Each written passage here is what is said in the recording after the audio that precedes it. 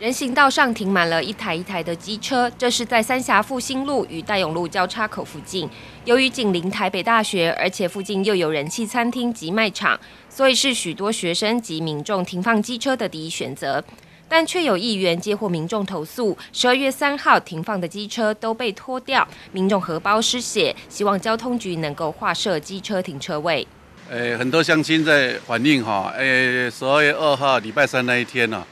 没有事先的宣导，然后就整排的机车哈都拖掉走了啊！他们是说希望哈这个人行道这么宽的幅度的话，看看能不能就请那个交通局他们来规划啊，不妨害这个行人的安全之下哈，好好的把停车格画一画啊，不然的话车子这么多，没有停车格啊，确实是哦，大家都很难受。黎明人议员服务处最近接到许多民众陈情，便立即要求交通局前来现场会勘，评估划设停车格的可能性。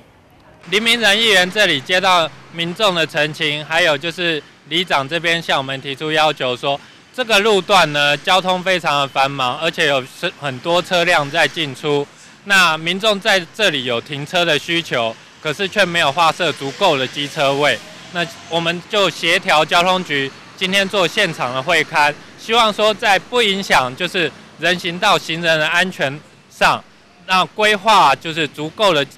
或呃规划机车位来提供民众停放，也免于说这个地方在没有管理的情况下，民众任意停车，反而是对整个市容还有整个交通上的一个问题。三峡复兴路的车流量大，一旁就是台北大学。因为校园内不能停放机车，所以学生只好停放在复兴路两旁的人行道上。